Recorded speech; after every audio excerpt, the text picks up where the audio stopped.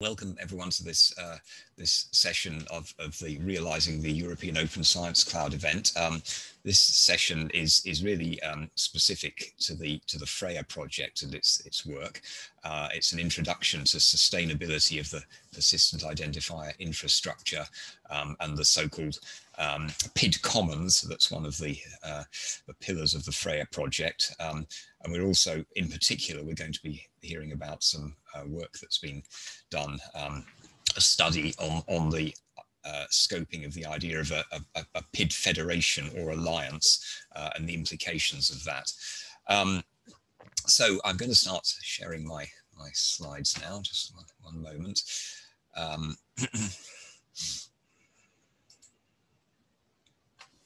right.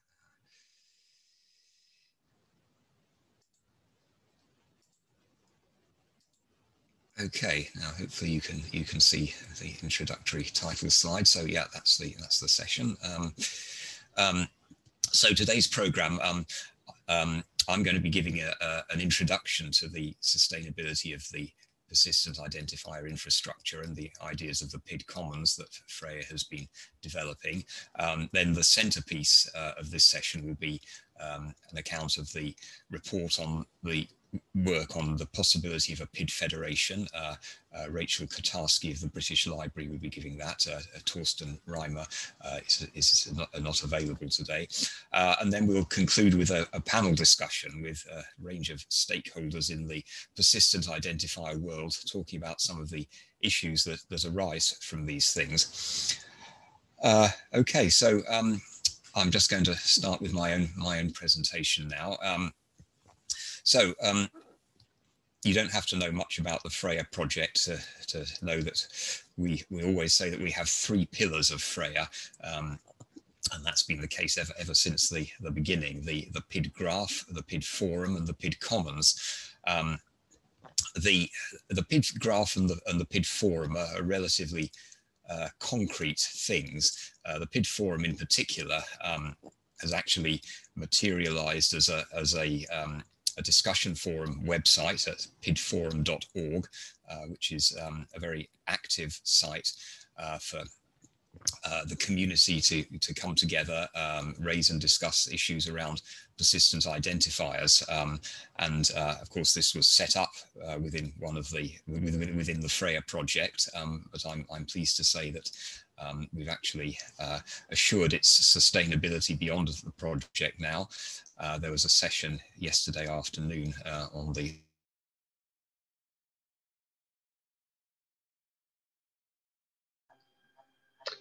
and it looks like Simon's frozen again. Hopefully we'll get him back in a second. Yeah, yeah. Uh-oh. Uh, you're back again, Simon, I think. Oh if you want uh, to turn off your video while we're looking yeah. at your slides, maybe me, that'll help. Yeah, let me do that. Um, uh,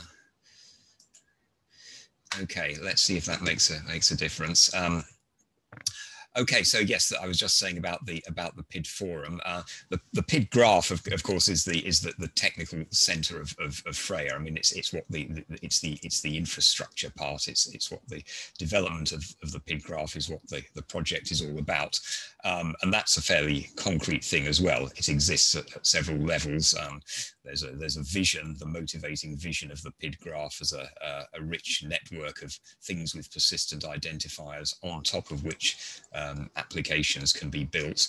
And then there's the, the general technical basis for the PID graph. And we had a session by um, Martin Fenner on that earlier uh, in this conference. Uh, and then there's the applications of the PID graph, and we also had a session on those yesterday.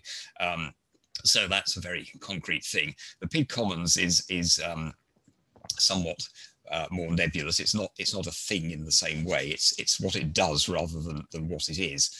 Um, so the, the description that we have is that refers to the concern of the PID Commons, and that concern is sustainability, uh, the sustainability of the PID infrastructure resulting from Freya beyond the lifetime of the project itself. Uh, defining roles, responsibilities, and structures for good self-governance based on consensual decision making. Um, so there are some boundary conditions here. Um, so the the PID Commons is is not going to be a single body or organization. Um, but it, it does need to have some kind of existence or identity. It can't just be completely nebulous, um, or it wouldn't really have any any any impact or, or, or meaning, um, really, or, significance. Um, it should interact with or even include um, appropriate existing bodies uh, uh, in the world of persistent identifiers, for example, um, RDA, um, the EOSC itself, of course, uh, and, and others. It needs to have the desirable attributes that we always talk about in, in the context of sustainability, uh, openness, representativeness, trustworthiness, etc. And the commons itself should be should be sustainable. Uh, I mean, it's concerned with sustainability of the infrastructure, but as as a or, or a collection of structures and processes, it needs to be sustainable in itself. Uh, so what what we did as, a, as, an early stage in, in Freya is to is to think about what we really mean by sustainability. It's it's quite easy when thinking of sustainability to uh, jump into talking about um, funding uh, to talking about governance mechanisms, which are, are all important aspects of, of sustainability. Um, but be before getting to that level, it's, it's necessary to think what we really mean by sustainability. Um, so these are three facets of sustainability that we, we put forward in Freya. These are very general things. Um, and this is this is what we we understand sustainability means. It's really breaking down the term uh, into into these three facets. Uh, the first one is maintainability. So it's it's the capacity of the infrastructure to continue operating as is. Um, so that can be at a, a, technical level, you know, making sure that the, the services continue to run, that they they, they meet their, their service standards, uh, that they have required capacity. Um, but it also includes includes funding because the you know the, the funding is is what ensures the capacity of the infrastructure uh, to continue operating. Uh, the second facet is, is adaptability. So it's the capacity of the infrastructure to respond to new opportunities, requirements, and challenges, um, which can arise in various ways. Um, technological developments, um, changes in, in user expectations or behavior, for example. Um, you can't really say that an infrastructure is sustainable unless it can adapt to that kind of change. Uh, and the third facet is, is desirability. Uh, so it's the capacity of the infrastructure to attract and retain users. And that includes users in a broad sense. So that would include service providers. Um, what is it about the, the infrastructure that will make people stay with it rather than using something else and that will attract uh, providers of services to the infrastructure into it. Um, so these are the three facets in terms of which we, we, we think of sustainability and, and analyze it. Um, of course, uh, Freya is hardly alone in um, uh, working on, on sustainability of the infrastructure. Freya is one of the projects that's contributing to the building of the European Open Science Cloud. Uh, and at the highest level, the European Open Science Cloud has been doing and continues to do uh, work of its own on sustainability. So the, the latest iteration of this is the so-called Iron Lady document, um, which has, has just been released. Um, uh, very, very recently. Um, what are the concerns of, of uh, the Iron Lady and therefore of EOSC sustainability? Uh, well, at one level, they seem to be rather different from the kind of thing that we're thinking about in, in Freya. Um, they talk about the, uh, the minimum viable EOSC. Uh, um, the EOSC as, as a federation uh, of, of resources uh, and, and, and providers. Um, they address the issues of uh, future expansion and the whole complex of, of funding uh, that is, is needed for that. Uh, the question of the network effect uh, and what incentives are required at an early stage to encourage um, providers and users to, to engage with the EOS and thereby uh, uh, attain the critical mass that is needed. they're concerned with high level governance, for example, the EOSC Association, um, and the and the legal entity that has recently been formed, uh, and they're concerned with with risk management. Um, now, as I say, those those seem to be rather different level of concerns from the kind of thing we're thinking about with the sustainability of the PID infrastructure. But you can um, think of these things in terms of the three facets. I mean, the network effect and uh, incentives is, is to do with, with desirability. Uh, what, what is it um, about the EOSC that will attract people to come in and, and generate the network effect? Um, uh, the, uh, uh, the risk management is, is concerned with uh, maintainability. Um, and so on. You can you can interpret these in terms of those those three facets. Uh, so one of the one of the issues for EOSC and, and, and for Freya in its, its closing stages is, is bringing these together and, and relating them together uh, in a in a coherent way. Um, I'm now going to change uh, change my tack slightly and um, move on to this uh, idea of a, a PID federation um, as an aspect of, of sustainability. Uh, so this um, took shape as a workshop uh, that was held in the PIDapalooza conference in, in January this year. Uh, in fact, funnily enough, that was the very last uh, international conference I attended in person, although I didn't know that at the time, of course. Um, Lisbon, it was held, uh, and there was a workshop. Um, uh,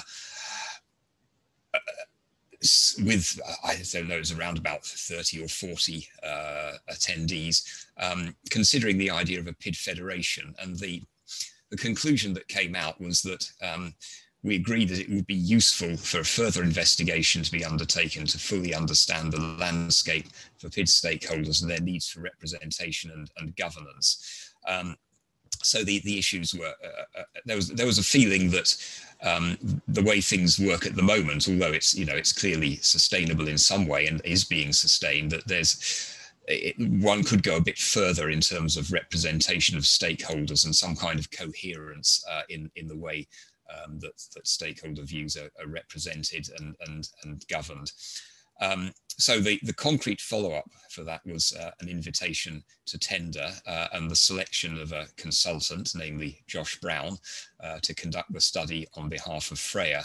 Uh, so Josh's report uh, has been published. Um, there was also a webinar held uh, presenting the results, uh, which uh, you can also see if you wish to have, if you wish to do so. Um, now, this is going to be the subject of Rachel's talk, so I, am not going to say any more about this. Um, although I should emphasize that the report is, is not itself the, the Freya position on the PID Federation. Um, we are formulating a, a, a, kind of perspective or position on the Federation, which is um, amplifying certain points or qualifying others or making uh, specific recommendations. Um, the report itself is in a way the, the raw material, although it does contain recommendations of its own. Um, it's, it's not the Freya position, it's certainly not by any means the, the EOSC position. Um, so how, how does this idea of a PID federation relate to sustainability and the and the PID commons? Um, well, it's I mean it's really simple in a way in that there's a, um, an overlap, but neither of them is a subset of the other. The PID Federation is concerned with more than sustainability. Um, we're going to hear about that, I'm sure, particularly, for example, the emphasis on uh, inclusion, inclusiveness, although you could certainly argue that that's an aspect of desirability, um, of, of, of, attracting uh, a wider range of stakeholders who might be underrepresented at the moment. Um, sustainability is broader than the PID Federation. There are aspects of sustainability, um, particularly the you know the on ongoing operations and um, uh, assuring um, standards of, of, service and so on, which are certainly not going to be the concern of, of, of any PID federation. Uh, but there will be areas of overlap. Um, so we can certainly say that um, anything that emerges from this work uh, will certainly have a central role to play in the PID Commons. Um, uh, so yeah, I mean that's that I think is is um, the end of what I what I have to say uh, about uh, Freya's work on sustainability uh, and introducing the the PID Federation. This is just a, a, reminder of of what's coming up. I'm going to stop sharing my screen now, um, and um, so uh, I wonder if there are any any questions on that um, before I hand over to Rachel for her part of the talk. You can either type in the chat or, or I guess just, just speak.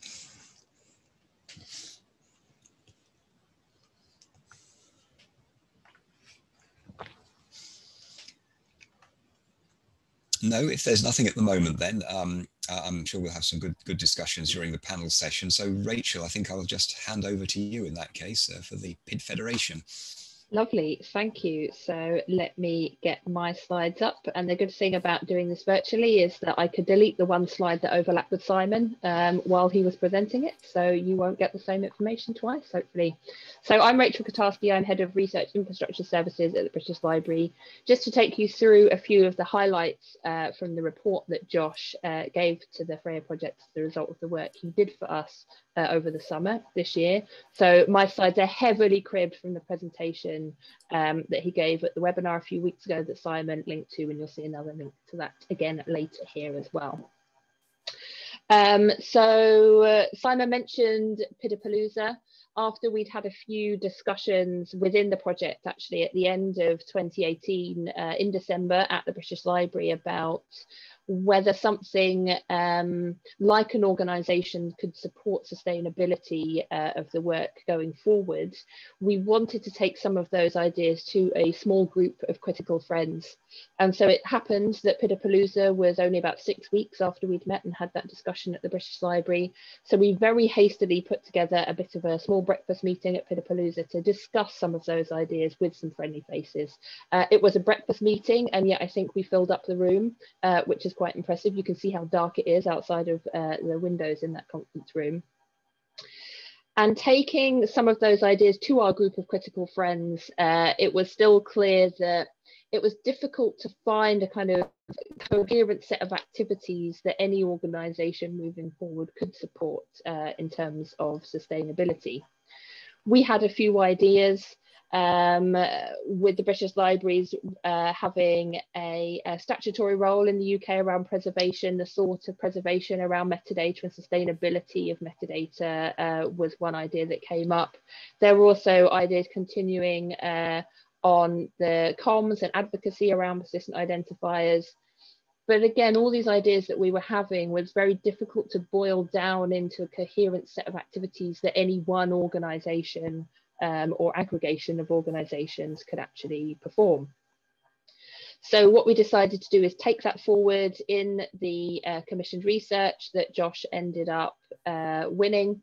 Um, it was relatively short amount of time that we had left within the project. We did it over this summer with the Freya project uh, ending at the end of this month. We didn't have much time or much resources to actually really do a really broad open consultation globally which is what you know was the ideal but also the fact that with a lack of coherence and focus and some of the ideas that we had it was difficult to take that out to a very broad open group uh, for discussion because actually we'd have got equally incoherent uh, and difficult to navigate responses back. So that's why we decided on a short focused uh, closed consultation for this piece of research. What we did want to do is make sure we got more voices than just the voices we could get in the room, uh, import uh, Dublin, sorry, that was Dublin, not Portugal. I'm confusing myself. Uh, for PIDapalooza uh, at a breakfast meeting. We really wanted to open up to more diverse opinion, um, get buy-in from a broader range of stakeholders at the beginning, we wanted to be uh, inclusive, but also, as Josh puts here, it, it, was impossible for us to really go wide, really boil the ocean. Um, we needed to have a, a, focused set of discussions to kick this work off. So that's what we did. The research itself was carried out uh, in three stages. So there were interviews, uh, Josh put together a, a good list of uh, individuals who we had a good idea would be interested in this idea of a PID federation um, to do semi-structured interviews to pull out some of the threads of ideas we discussed within the project as well as opening it up to other thoughts and ideas. Um, we expanded that initial group with a set of questionnaires um, because of the limited time, um, we couldn't do semi-structured interviews with a larger group of people. But in order to uh, expand and balance geography, discipline, um, stakeholder group within the PID community, um, we set out a set of questionnaires. The interviews and the questionnaires were used to pull together a kind of interim report, some early findings, some statements reflecting uh, on the questions set by the Freya project to the research, and that uh, initial report was then given to people who were invited to focus groups for the last stage. So those focus groups allowed us to do a bit of a deep dive into um, some of the themes that had come out of the interviews and the questionnaires to really discuss the, the context of that work and um, enable that cross-stakeholder discussion about what the implications were, were coming out of some of those initial findings. Um, again, trying to open up inclusion, we held um, those focus groups in three different time zones. Uh, so we covered the Americas, uh, Europe, Middle East and Africa, and Asia Pacific. Again, it was difficult to get people along to those aside uh, their other day jobs, but we had some great discussions uh, around the interim results. So from those three pieces of work, these are the headline findings that Josh presented us with. Uh, it was heartening to see that generally there was a feeling that some kind of organisation, a PID federation, could bring more coherence and coordination uh, across the PID community going forward. But there were also some findings that um, I wouldn't necessarily uh, say conflict each other, but they cause a bit of tension in terms of what we might try to do moving forward. So one of those is a clear steer that creating a completely separate and new uh, legal entity or organization, if you like, uh, would create overheads uh, that might mean there are costs involved that make it difficult to enable uh, inclusion.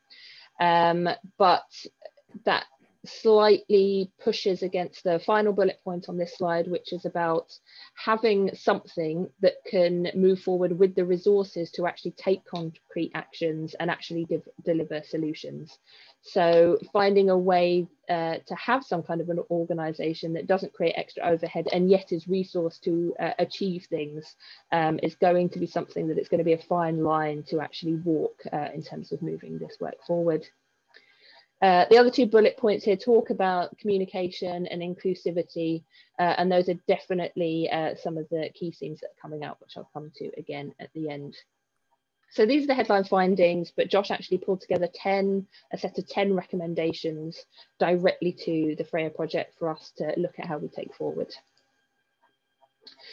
So it was good to hear, as uh, we mentioned in the highlights, that the PID Federation or something akin to that would be generally welcome. Um, but I think recommendation two here really reflects on the good work that Freya itself has done over the last uh, three years. So in terms of needing something that helps to drive adoption of persistent identifiers, support sustainability, but actually the key to that is articulating the benefits of the uh, identifier ecosystem as a whole when we uh, interoperate with each other, when we join up, when we get use of a broad set of identifiers and connect them together, um, that they become more than the sum of their parts. And I think that's something that Freya itself has definitely driven over the last three years. And it's good to see that there is an appetite to continue the good work uh, beyond the project. Uh, knowledge sharing is also something that Freya has done, uh, as Simon mentioned, around the, the PID forum, um, all the work we've done with ambassadors throughout the project. And I think, again, recommendation four here really reflects on the good work that the Freya project has done. And it's heartening to see that this is something that the community itself would like to continue to see someone uh, doing and that there is an important role there. Um, recommendations five, six, and in fact seven all speak to inclusivity and how we broaden uh, participation in any uh, PID federation going forward. I think the communication aspect um, also comes out here. You know, I mentioned about PIDapalooza. I think there's a tendency uh, for us to go, we're doing a good job with comms. We're reaching out to people. We're doing a lot of work in the community But in reality, I think we get the same kind of nodding heads in the room on quite a regular basis. And it will be important for us going forward to reach out to communities who we don't usually speak to beyond our comfort zones. And I kind of mean that geographically in terms of uh, Europe, North America, Australia, reaching out to the research communities beyond those comfort zones. Um, it also came out that decentralization is key here. If you have a, a single body uh, with an office in a single place, it actually becomes more difficult to reach out to those global communities and reach beyond those uh, traditional boundaries that we might see. Oops, I've gone too far. Um, Number seven speaks to one of those tensions about resourcing an organization to do that work uh, in terms of outreach, advocacy, interoperability uh, on limited funds. Uh, one of the key um, statements that I remember from the focus group is about participation needing to be cheaper than free. So, you know, organizations uh, outside of North America, uh, North, Northern Europe, it's not necessarily about not having money for membership fees, but they don't necessarily have the people resources to participate in all the activities that we might want to push forward uh, within the PID community. And actually, we might need to underwrite participation in some cases, not just you know make something free to attend, but actually how do they get there to attend things, uh, assuming we're even able to meet uh, physically at any point in the next few years. Um, and so again, that that point on cost also speaks to inclusivity. Um, the last two points that we have um, point to actually understanding what activities should come out of all of these recommendations and really testing them uh, with the people who we hope they will impact. Um, what we need to do is pick activities that we think will have good impact, good value for money, as in, you know, what can we do uh, for cheap, if not for free, that actually deliver uh, change for the PID community and that enable uh, inclusivity and communications. And I think that picking these priority activities are really more important for deciding what the shape of any future organization or association or whatever you want to call it will be in the future. Actually, we need to understand what it is needs to be done first before we say what uh, legal structure that needs to be done within. Um, and so to understand what those concrete actions are, we know that we need to do a fuller, more global, open consultation. But at least now we have what we were missing before we could do that, and that is a bit of focus. And so out of these recommendations, I've talked about these uh, priorities and themes already and going through them, are inclusion, communication and interoperability. So with these three priorities as a bit of focus for those actions, we can now, we have something we can take forward to full open, uh, hopefully global consultation to get an idea of what those priority actual actions activities should be. Um, so again, it's it's about what actions can we do that drive inclusivity, that support comms and interoperability. Um, these are the points that Josh has tasked the, the Freya project with looking to the future with.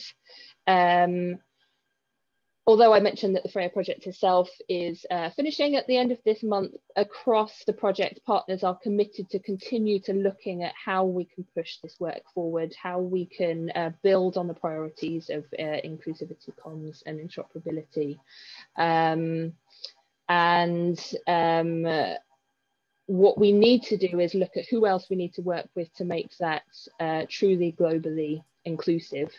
And I think that in terms of that broader uh, open consultation, one of the things that worries me is about carrying on that global open consultation and doing it, let's say, completely in English, uh, where we leave out communities um, who don't have English as a first language and might feel much easier and more comfortable talking about what their needs are in uh, their own uh, mother tongues and languages. So I think we're really going to have to think about how we consult across the board with research communities where English may not be there, uh, might not be a language that they're able to discuss these quite uh, kind of technical and complex administrative requirements that they have uh, with us. And I think we should strongly think about how we uh, enable discu uh, discussion and discourse with those communities, not in English, essentially. And again, all of this, um, why is that in there again? I don't know. Um, so one of the things uh, that has been discussed, and Simon mentioned it earlier, is what we call this thing. And again, I don't, we, we should be a bit cautious about there being a thing to actually have a name while we don't know what those activities are. One of the pieces of feedback we did get from Josh's work was that, the name PID Federation was not ideal. It sounded a bit old and stuffy. Um, so within the project, we've talked about uh, a PID Alliance instead.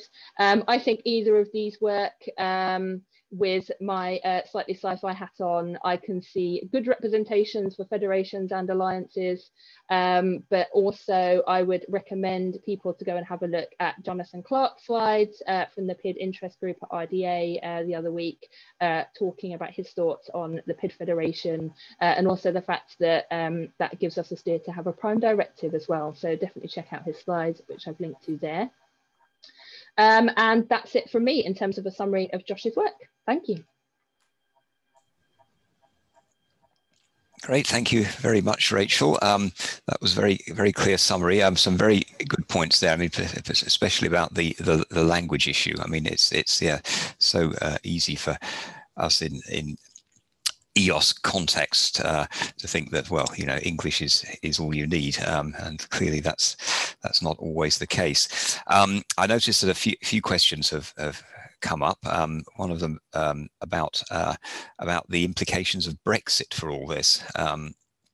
This is in the chat window. What will the British Library role be after Brexit? How much will BL be involved in Freya and PIDS? Um, well, as, as, as, has been said, the Freya project itself is, is coming to an end soon.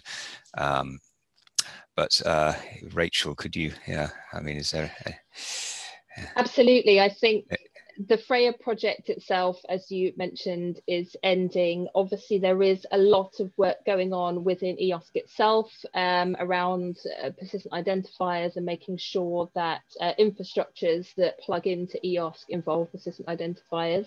I think where um, UK based infrastructure plugs into that will definitely continue to be an advocate for persistent identifiers and the requirements around them, uh, supporting those research infrastructures in the UK to plug in where they are able to.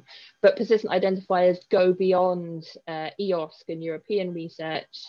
They really do support global linking. There is a global PID graph, not just a European PID graph uh, of research so I think we'd absolutely continue to want to play a role in that. Um, you know, we've already done that since um, becoming a member of DataCite right at the beginning. We've always wanted to support our other DataCite uh, members and colleagues internationally. Um, so I definitely think that we will have a role that will not be determined um, by Brexit and however that works out uh, over the next few months. Yes, thank you. Thank you, Rachel. Uh, I can see we also have a, a comment about um, uh, a key partner to work with in, in Africa. Uh, so yeah, we'll we'll take that on board. Um, are there any uh, questions about Rachel's talk uh, um, before we, we move on to the, the, the panel discussion? So yeah, either type them in the chat or simply unmute yourself and and speak. Hi there, uh, it's Nicholas here. Uh, just to say, I posted that comment uh, about um, Africa Archive because um, that would be just a good example, I think, of um, a partner who uh, doesn't necessarily have uh, uh, funds um, or, or a lot of funding as yet. Um, and who knows if that situation can change drastically at any point, but um, is attempting to sort of make freely available to researchers from Africa and, and writing about Africa or publishing about Africa, uh, a set of sort of commonly available resources, but um, is in a position of maybe uh, not not having the kinds of infrastructure that could that something like Freya could make um, more freely and widely available um, with the kinds of uh, skills that are um, you know, more more more widely accessible in in the European and and American context. So. I just wanted to mention that that's that's that's the context in which I say I, I typed that. Mm -hmm. So it's it's it is in response to Rachel's um, presentation. Absolutely. And I think that we continue to want to do a lot more in terms of that knowledge and skill sharing. Um, we have to feed into any wider consultation. What are the methods we could use to increase participation that are not just about um, skills and knowledge sharing, but actually are about access to resources as well, whether that's financial or people resources. Um, but I also think that this consultation needs to be done uh, collaboratively um, with organizations outside of what I called our comfort zones of uh, North America, Europe, Australia, um, because I'm very keen, especially with everything else that's gone on within 2020, that you know the the European and North American organizations that are the Freya partners at the moment don't have that kind of we will come and save you with our PIDs uh, kind of attitude to, to communities outside our comfort zone, that actually we work with people um, rather than kind of coming in and saying, well, this is how we think you should do things and this is how we'll save you. Um, I think it needs to be done a lot more collaboratively uh, and considerately than that.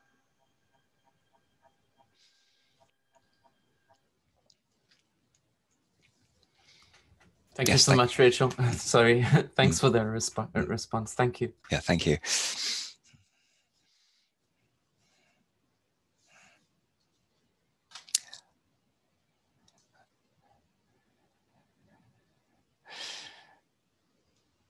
Oh, okay. So we have a, a question here about uh, integration of PIDs of the same digital object, for example, persons having uh, more uh, more persistent identifiers? I mean, that that is a, a, a very good question, but um, I suspect it's not quite for this session um, uh, on sustainability. Um, it's uh, yeah, I mean, it's a, it's a PID graph question, definitely. Um, I think it maybe just speaks to the interoperability question. Um, true, that's about, true. Yes, yes. Uh, making sure that as new PIDs arrive, uh, emerge from different communities, that there is room mm. for them within the PID graph, that there is interoperability between systems, and that mm. PID systems themselves are aware of all the other PIDs that are out there. Um, so definitely we see that a bit with uh, people identifiers, with things like international standard name identifiers, ISNI, that links across ORCID and VIAF, and also ORCID links across those uh, as well, where it has information. Um, so yeah, I think that definitely speaks to interoperability about being aware that what exists now is not going to be it forever and that new things will emerge. Yeah, enabling those crosswalks is key. Um, the same with the national person identifier and an ORCID ID, enabling that crosswalk is key to, to building that interoperability. I think we are actually starting to slide into the, the panel session now. So I think I will probably formally introduce it because uh, the panelists are speaking and, and actually addressing some of the, the issues. So um, we have we have four, four panelists. Um, um, there's uh, Matt Buys from DataCite, uh, Rachel again uh, from British Library, um, uh, Catriona MacCallum from uh, Hindawi, the publisher, and uh, Juan Bicarregui from my own organization, STFC. Juan is, is very keyed into the, the high levels of uh, EOSC uh, governance. Um, so uh, four panelists and um, we've I've we've selected a, a, few questions to try and stimulate the discussion. I mean, what I what I'm going to do, I think, is just to just pose a question and see if one of the panelists would like to to open open the the discussion. Um, I think that um, uh, uh hopefully this will will uh, stimulate some some thoughts and questions from other participants. And in that case, I suggest you you you use the chat window uh, to uh, for your questions, so we don't have too many people trying to to speak at once. Um, so um, these are some questions which which came up from thinking around the the ideas of the the PID Federation. Um, certainly, communication and, and advocacy was one of the uh, focuses for the PID Federation that was very much emphasised. So, given that that's desirable, um, uh, from your various perspectives as, as panelists, who do, who do you think would be the audience for the communication and, and what would be the message?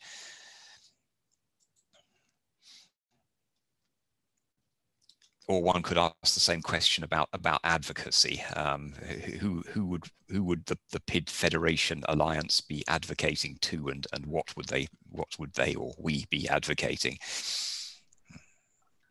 I'd be okay to to start. Um, mm. So uh, I think um, the short answer is almost everybody, um, because um, we need uh, at the moment, and, and I think it's it's it's very apparent from this meeting, and the Freya discussion, that there's um, a real sense of urgency about um, PIDs and the metadata for those who are working with them and understand them, as Rachel pointed out.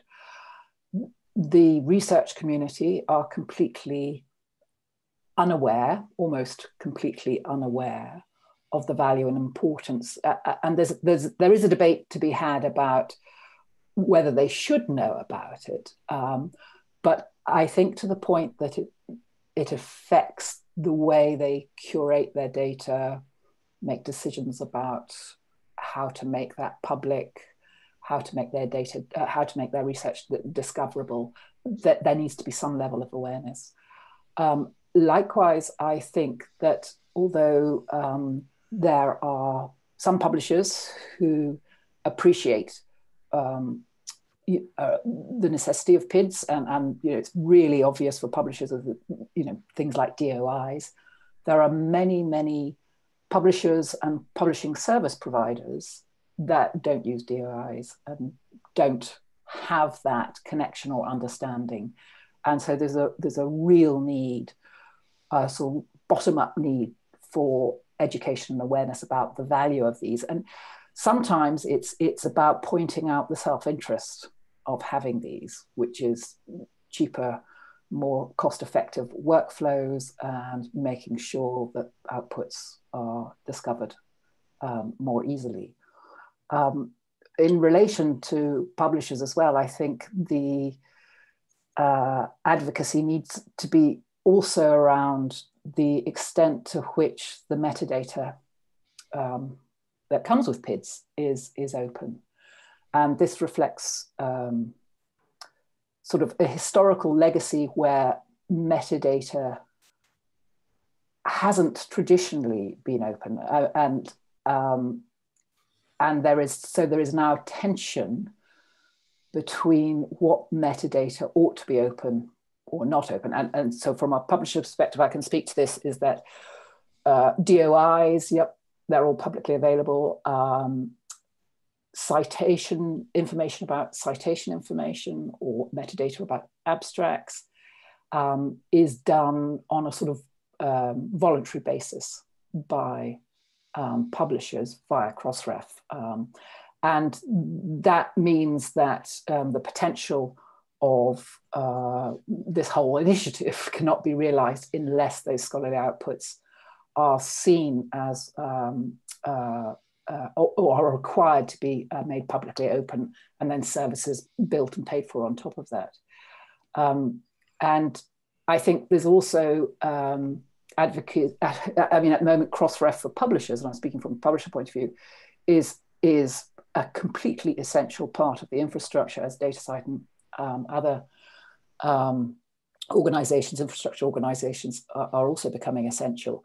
But there is a huge amount of exclusion of uh, the community of service providers and publishing services that are outside of those communities. And it's how we can connect those, um, both in terms of, of um, raising awareness and education, but also the language um, and the equity issues um, to enable this. I'll, I'll, stop there because otherwise I'll speak too much. I think, um, oh, sorry, Ryan, do you want to go ahead? Oh, sorry, you put up your hand. Uh, oh, I'll jump in and just follow on. Um, I, I, I thought, yeah, I mean, your, your points were really um, good, Catriona. Um, the, the, the focus on metadata is so important for everything that we're talking about. And we, I think, sometimes lose sight of the fact that we talk about PID so much and we focus so much on this actual PID and forget about the metadata. And in making that metadata useful and valuable to the community, I would say some advocacy really needs to be focused around the, the systems and the providers of those systems. And I'm not saying exclusively the commercial systems because I think this is the key inclusivity piece. And, you know, um, Nicholas raised a really good point, you know, about Africa Archive, that how do we enable these services and make sure that these systems can easily overcome these technical barriers, these resource barriers, these financial barriers that broader communities have to enable them to um, adopt services, um, have rich metadata, enable the interoperability across identify infrastructure um, so that everyone can benefit. And it speaks to some of the other points around, well, what about these different PIDs and how do we enable that? And I think the key is getting those systems to enable that um, because without those, we not we we constantly are going to come into the uh, come up with these barriers um, for including broader communities. Yeah, uh, thanks. I 100% agree about the importance of the metadata and standards on that, so that we can do the cross you know cross graph jumping that we've talked about a lot. So that's absolutely critical at the technical level. I wanted to go back to the point about the uh, audience and the point uh, Catriona made about researchers don't generally know what's going on with the PIDs and do they need to. Um, so let me try out a, an argument. I'm not sure I believe this, but let's try it out and see what the reaction is. I would argue that um, researchers don't need to know about PIDs, that we shouldn't target researchers, that PIDs should be part of an invisible infrastructure that uh, researchers really just need to use without actually sort of looking under the hood. Um, let's take an example. Um, if a researcher is thinking about a paper, do, do, they think about the DOI or do they think about the author and title, right? So clearly they think about the author and the title, not the DOI. And that's how it should be. So the same should probably be true in other areas where we use PIDs. They should be thinking about whatever's convenient for them.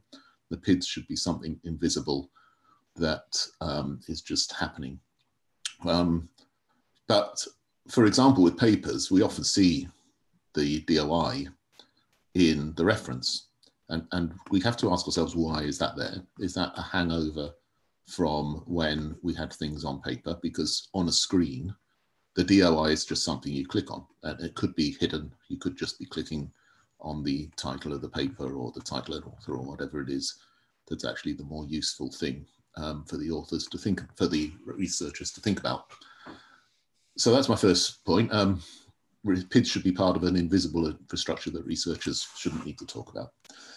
Then, of course, we talk about how we can enable that and the data infrastructure providers or the publishers or whoever it is that is making that mapping from you know uh, you, things that researchers like to think about to some hidden number deep in the bowels of the data infrastructure that never sees the light of day. Um, what do we have to think about for there? Um, well, there the message from, that we need to be pushing, I think, is um, about increasing the adoption of PIDs for different types of things. Um, we've made a lot of progress in recent years in moving you know, to data and, and instruments and organizations as well as people. Um, but I think that's just the start. I think we should really be trying to think very, very broadly that everything should have PIDs underneath. Things that are not even persistent themselves should have persistent identifiers. Um, an example here, in the good old days when I used to fly places, I would go with a flight number and a date and those the combination of those two identified the flight. So in a way, the combination's a PID, but I bet somewhere inside the airline booking system there was a PID that was specific to a particular flight rather than particular flight on a particular day. Um, in shopping orders, you know, I'd go into my orders on my supermarket shopping list And the combination of the supermarket name and the order number probably gives me a PID, but that's a transient thing. When we're talking about data, know, a particular collision at the LHC, a very, very transient thing indeed, but the identifier for it is persistent. So, and needs to be persistent because we want to be able to refer back to something. Um, so I think the message should be around increasing the different types of PIDs that we are, we should be very ambitious in increasing the range of things that we want to give PIDs to. But, but let's get there one step at a time. Uh, I see why you're getting some some pushback in the in the chat about the invisible infrastructure. Um, yeah, I, I, was also wondering, may I respond to that? Of course. Um, um, uh, I'm, I'm, sort of half keeping my eye on chat, so I think I, I, I think this this uh, resonates with what some people are saying as well. But um, I think PIDs shouldn't be uh, invisible um, to the I think PIDs should be invisible to the workflows that researchers are using so that things are seamless, so they don't have to see the pipe work when they're trying to discover stuff. But I think they absolutely need to be aware and there needs to be a raised awareness of the importance of infrastructure and the services um, around that infrastructure that makes their research discoverable and accessible. I think this affects uh, could, uh, could potentially affect the choice of uh, where, for example, researchers choose to put their work either with a publisher or on a, on a platform. Those that choose to put their work where there are good uh, PIDs, lots of good and open metadata are going to be at a major advantage. Uh, again, this is likely to impact those more in the uh, Europe and, and the US and the global north, and to not make that awareness more widely known could further disadvantage others. Um, and the um, other point, so and I think at the moment researchers are choosing based on, for example, I mean, just to go back to that old debate about they choose where to publish, they choose where to publish. Now, there are some disciplines where there are, in the humanities, really good were highly ranked journals that have no DOIs. They are, in fact, they're not even online. And yet researchers think that's the place to publish. Mm-hmm. Um, and, and so we have to raise awareness and also awareness that uh, putting in uh, and, and, making those services high quality and open actually costs money and needs to be supported because at the moment a lot of researchers think peer review is what costs but with increasing digital, uh, you know, and the network, that infrastructure itself is a incredibly valuable service that is being left out. Um, but also itself, I think the PIDs and the metadata around, uh, and I am speaking about the, the research, scholarly knowledge, essentially, um, is itself becoming a research subject area. Um, and this uh, itself, the, the, the, sort of notion of research and research, which has been within the social sciences for a long time is becoming much uh, uh, more seen as, as a much greater and, and urgent requirement among the physical and biomedical sciences, where using that data, exposing that data, um, uh, means that you can provide new insights on what works and what doesn't in terms of access, discovery, collaboration, uh, um, and the whole notion of uh, um, uh, you know what what the what the scholarly communications field is. Um, and so I think there's two reasons. One is researchers need to be advocates and they need to be aware, and two, um, there needs to be awareness that this is a, a ripe area for research itself. and should be a, a, its own discipline. I think I, I had a response to this um, thinking about, as Todd puts it, the uh, invisible infrastructure. If it's invisible, people kind of devalue it. But certainly, one of the things that comes around when people talk about not valuing invisible infrastructure is that they care when it suddenly stops working. Um, and I think we know that Um, I think there was a, a, few years ago, for various reasons, all DOI suddenly stopped resolving. Uh, and I think people certainly cared about it on the day that it stopped working. They couldn't necessarily articulate what had broken, but they certainly knew the value of those little links that they were clicking on that said DOI at the beginning of them. Um, and I also think I have some sympathy for that invisible infrastructure and advocacy for researchers maybe being slightly lower priority because I think there's an element of us consistently going to researchers and saying you need to care about these things because it will make your life easier and actually, I think if we put more effort into just making their lives easier rather than telling them that we're making their lives easier, uh, that would kind of be the things that I definitely emphasize. And so, again, in terms of ad- advocacy, it's working with the vendors so that the new systems that come out that researchers use bake in persistent identifiers from the start so that we don't have to re engineer new systems that come out to use identifiers. But the converse of that is when vendors are thinking about their user groups, they're thinking about researchers. We do need some friendly researchers who know about persistent identifiers, who are able to articulate what it is they need and the reasons they need persistent identifiers. So I think, yes, that advocacy more is about getting some friendly researchers on our side rather than having every single researcher in the world know about persistent identifiers. I think that would that would be the result that I'd look for. But I would also add, I, I think um, almost every, and I, and I maybe use the analogy of a train infrastructure network, that every traveler on a train knows about train infrastructure and, and sees a benefit to using it.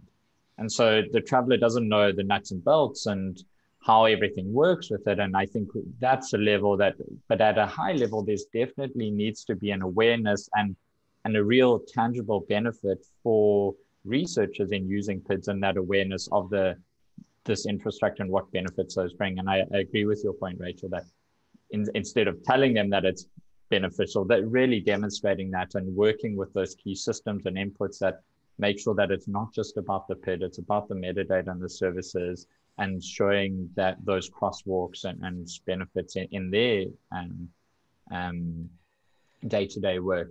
I think also there's there's a um, maybe a comment to make here around persistent identifier infrastructure, and I speak of that from from a DataCite perspective. There's there's sometimes a um, I guess an eagerness to sort of assume what is beneficial for researchers um, from administrators and infrastructure providers, and it's really important that we stay um, in communication with the researchers and research groups to understand their um, different workflows. Um, you know, we, as an example, are working, we hope to start a project next year with a group and doing consciousness research. And one of the things that we always advocate for is making data openly available, assigning a persistent identifier. But going into some of those details, we understand that brain imaging data, as an example, cannot be openly available because of certain privacy regulations. And so um, there's sometimes an assumption from a infrastructure provider that when we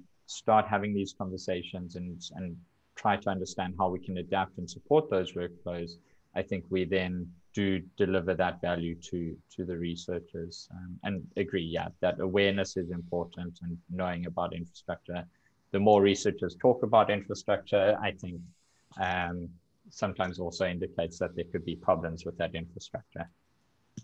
I like, Matt, your analogy to a train um, because when you think about the sort of infrastructure for trains that used to be in the UK, and there was a train to every village, and then they got stopped.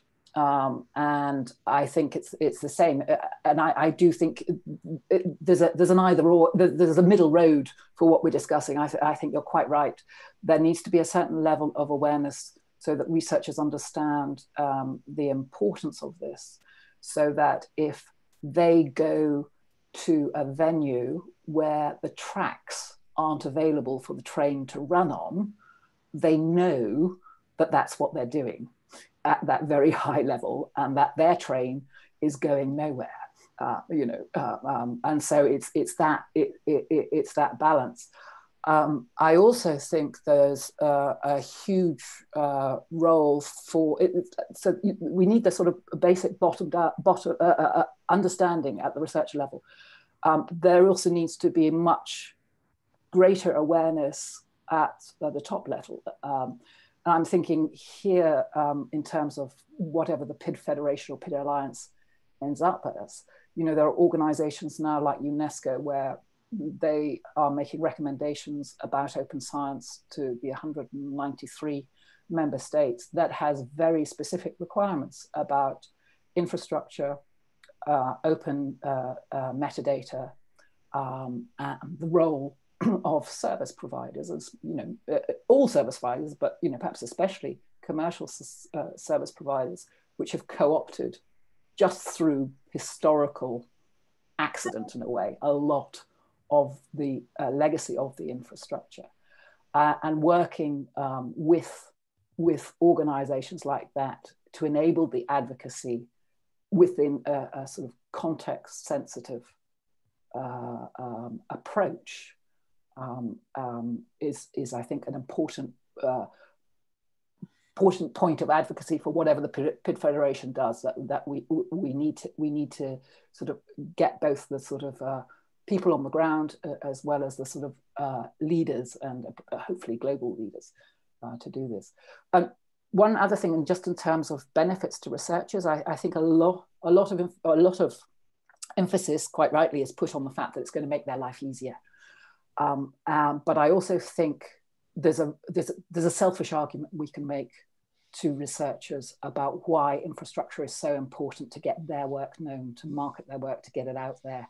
And, and we should maybe sell that one a bit more hard, uh, you know, get those sort of use cases out um, in different contexts. Um, and it might be different um, in uh, sort of uh, the African continent or the Indian continent, subcontinent, compared with Europe, um, um, what those messages and use cases would specifically be. Thanks. Um, thanks for that, those um, reactions. I was hoping to uh, provoke some reactions. Let me provoke another reaction along the same lines. Um, looking at Todd's point about things are not truly valued if they're invisible um, or it's very difficult for users to value them. I mean, I, I, do agree with that.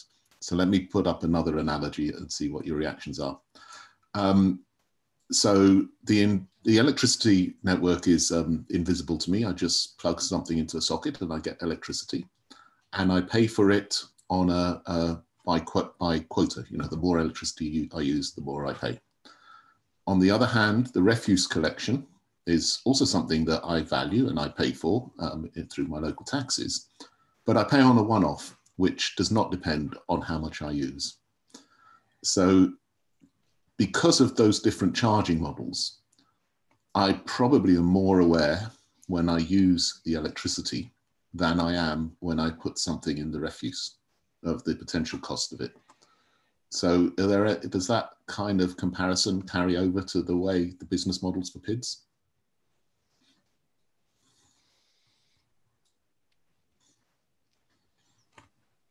Uh, just, just to comment on that, I think you are correctly on, on, on this type of analogies. Uh, and I also, in my opinion, is that probably researchers do not know about all the PIDs or when they use PIDs. Uh, but at a certain level, they are more aware, should be more aware that they use uh, persistent identifiers for certain purposes.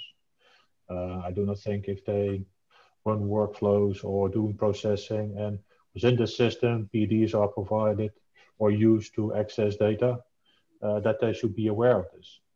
But if they really have to transfer information, precisely which type of information, I think they should be more aware and that they can use PIDs for, uh, for using this.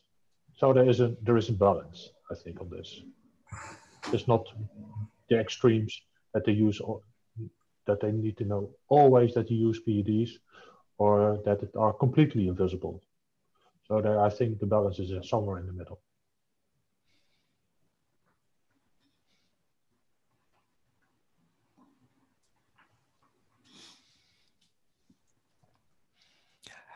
Okay, I, I'd like to go back to um, a question that Todd Carpenter raised right at the beginning of this chat stream, actually, which is very pertinent to the um, uh, the PID Federation, PID Alliance idea.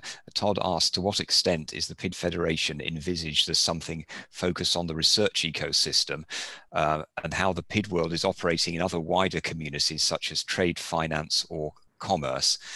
Um, I mean, I, I, would like to know what the panelists think. I mean, I suppose my perspective is that initially, at least, the um, the PID Federation Alliance has got to be focused on research because this is its origin. This is um, um, how it's how it's come about from the uh, the, the, the world of research. Um, I mean, longer term, I suppose the involvement of stakeholders from uh, other areas, uh, commercial areas, would depend on to the extent to which they can identify with the the, the challenges identified for the, the PID Federation. Um, I mean, I'm, I'm guessing, for example, that, that inclusion and communication are probably not seen as, as, as challenges, although interoperability might be.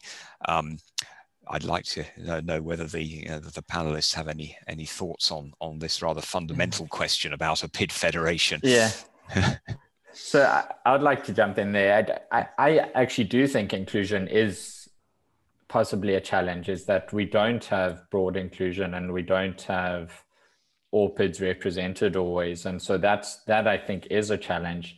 I think outside of the research ecosystem, um, maybe I won't speak to the scope of what what the PID Commons becomes because I think there is a sort of because inclusion. I, I feel that inclusion is is a particular challenge initially to get everyone um, involved um, I would say that the scope needs to have some sort of limitation, but I do think that there's benefit in learning from other groups. And so I use the DOI Foundation as an example with BSI that is in the building industry and EIDR that is in the entertainment industry, both using um, DOI technology, both uh, collaborating with other DOI RAs.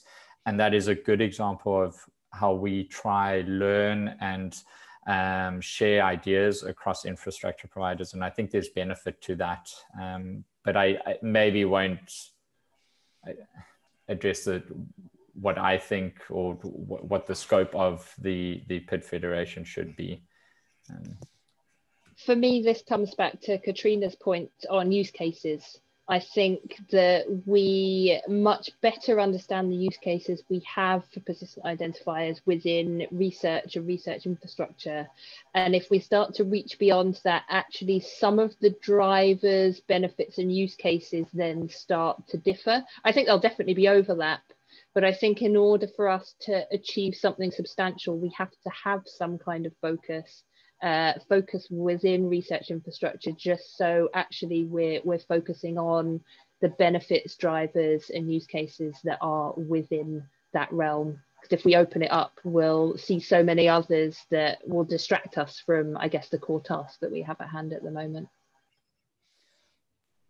I think it's a, a really interesting question. Um, and in some respects uh, I, I think initially, at least, it has to focus on scholarly knowledge um, as a public good and how does the infrastructure best enable that, you know, for the benefit of science and society. Um, and that should, in a way, define the remits. But within that, within that community, there are already commercial players, and um, there needs to be a way to enable commercial players to and I, you know, I, am wearing a commercial hat in this sense. I worked at PLOS, but I'm wearing a commercial hat. Enable commercial uh, players to come in and provide services without having to own the metadata or any parts of, of the infrastructure that is part of that scholarly knowledge. Uh, uh, where this is where I think the metadata and PIDs are part of actually that output of scholarly knowledge. Um, but we heard yesterday at the uh, um, in Martin's talk um, uh, and others uh, uh, that there are multiple entry points that you can come in to the scholarly PID graph. and it seems to me that there's a huge opportunity for industry and trade to find an entry point into that scholarly graph with whatever PIDs uh, and, and whatever infrastructure they have. Um, and uh, I am particularly thinking of um, something like uh, an institution, a university, who wants to be able to demonstrate the impact of what they do on their local economy within their region in terms of maybe exporting uh, research, uh, uh, public-private partnerships, or researchers that were in academia that then go out into industry. And you could see there are ways that there might be connections which would fuel a whole different way to, to, to measure economic impact and to promote economic uh, growth within those areas by exposing bits of the uh, bit, bits of the graph. So it comes back to this interoperability thing that, that, I think we should focus on on on the main reason why we're doing this, and I think it does uh, potentially create some barriers uh, uh, for you for industry players if um, there is a stipulation that all the metadata has to be open for scholarly outputs or around scholarly workflows. Um, but that tension is also very interesting, and I just don't know how it, it will play out. And I, I think there's routes um, that will benefit both. And, and obviously, uh, whatever happens, because of societies and economics involvement in research and science, and just think about the Sustainable Development Goals, um, COVID 19, we have to be engaged with commercial partners uh, and have some means of regulating what they do um, and ensuring that there's a very effective and competitive market so uh, we're not in the situation that we are with uh, scholarly publications at the moment. Yeah, so um, on the scope question for the Federation, I agree with the others that we do need to focus on um, benefits for research. Um, that could be private sector research as well as uh, public sector research where, um, where they have the same aims. Um, if we try and be too broad, we're just going to get lost and, and not really know what to aim for. So, so that's uh, agreement there. Um, I was going to say something else. Oh, um, but on the other hand, where there's something going on out there that we can make use of, let's make use of it. Um, open authentication across the, lot of commercial platforms is a really good thing. Um, and maybe we can link authentication in with that and those. So in areas where the, the, the commercial sector are, are, are motoring ahead, let's try and take make use of that.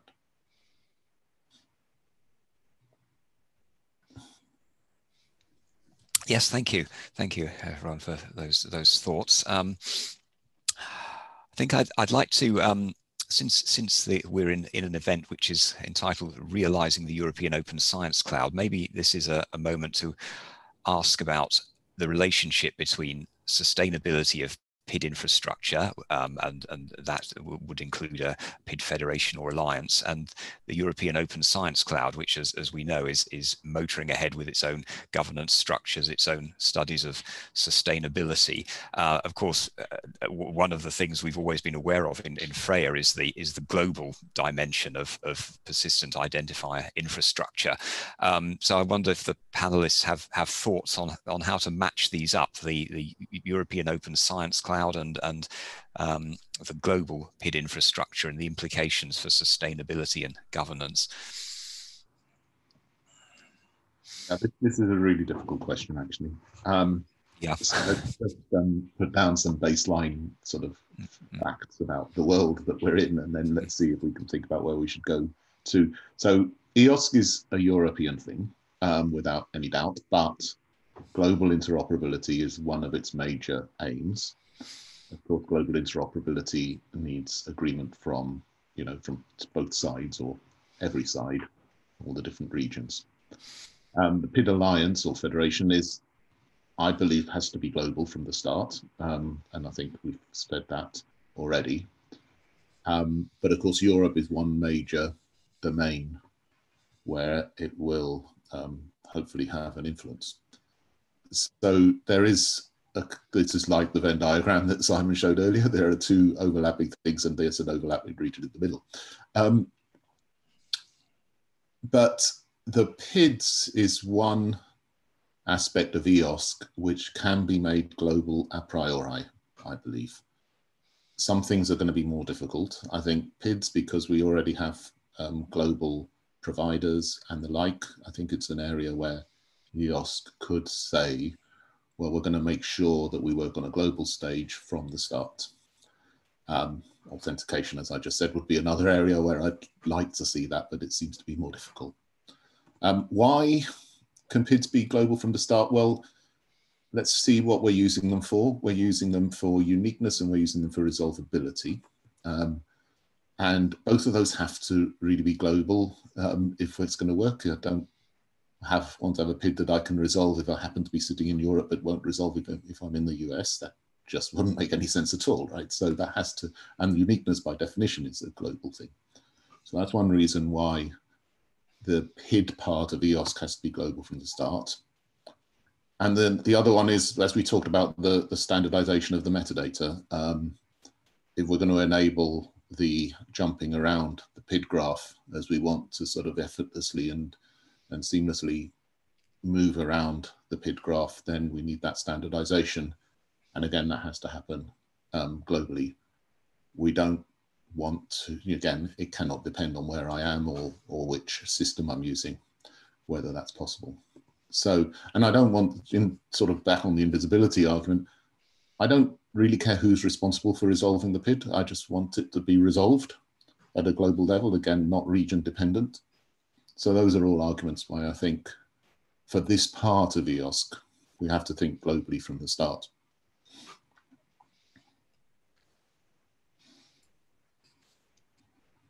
I just completely agree. I don't think no, no.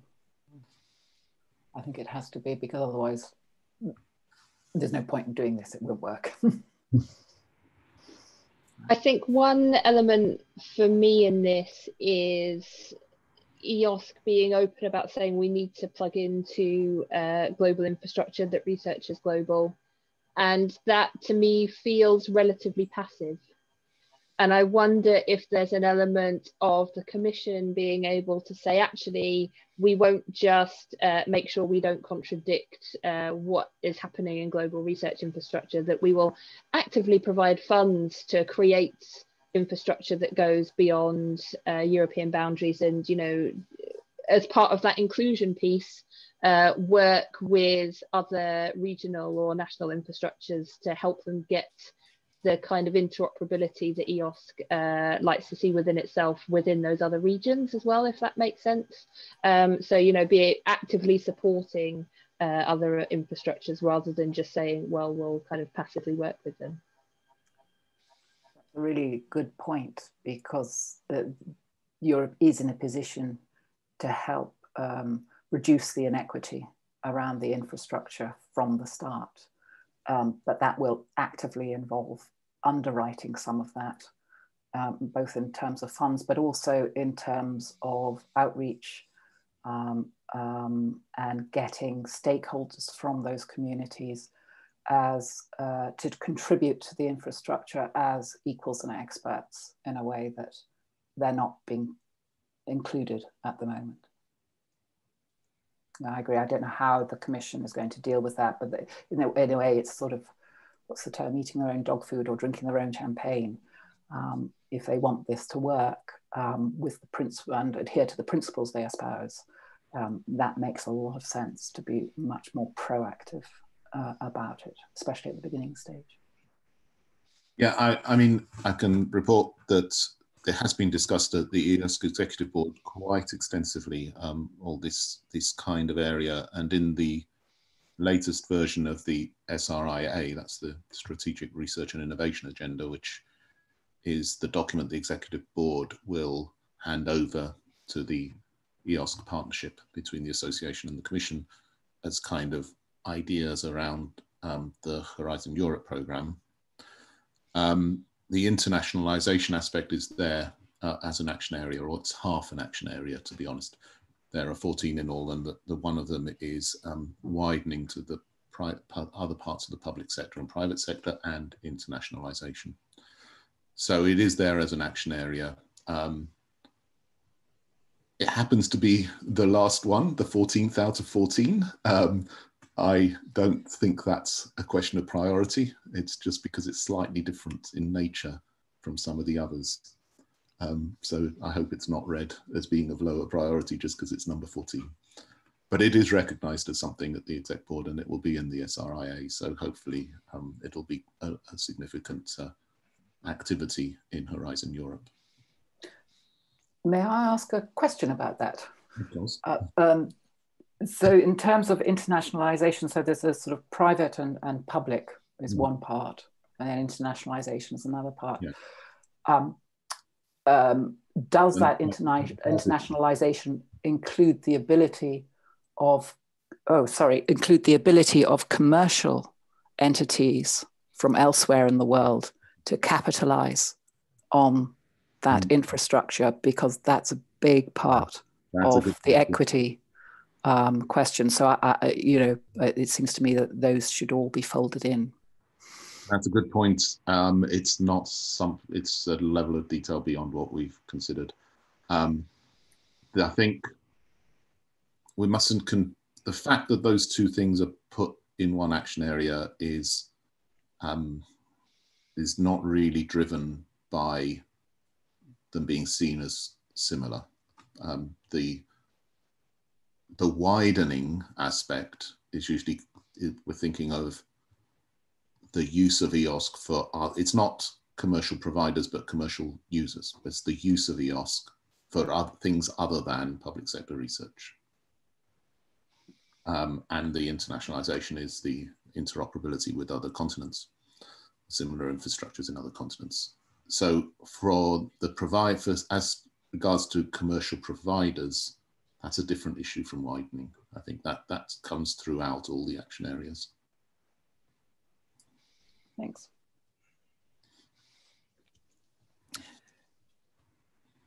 Right, thank you. Um, we, we are coming towards the end of the time now. I think I will just ask if there are any um, uh, further questions that anyone um, participating today would, would like to raise, either type, type into the chat um, or, or, just speak. Um, see if we can probably have time for one, one more short discussion uh, if there's an appetite for that.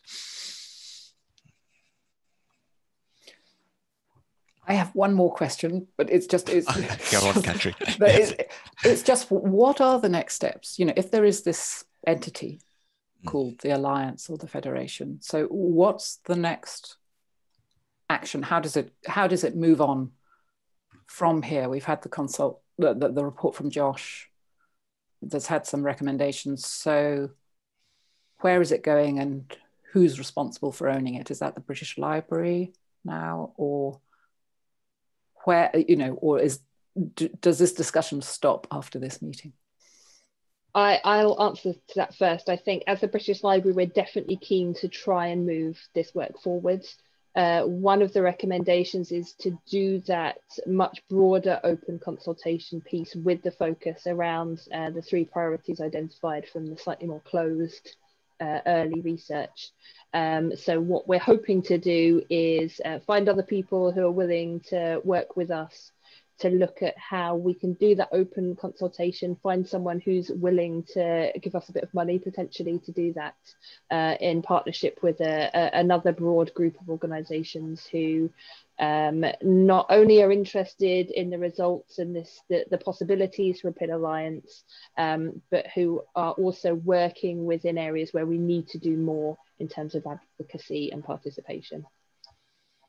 So potentially you might partner with someone outside Europe. Yes.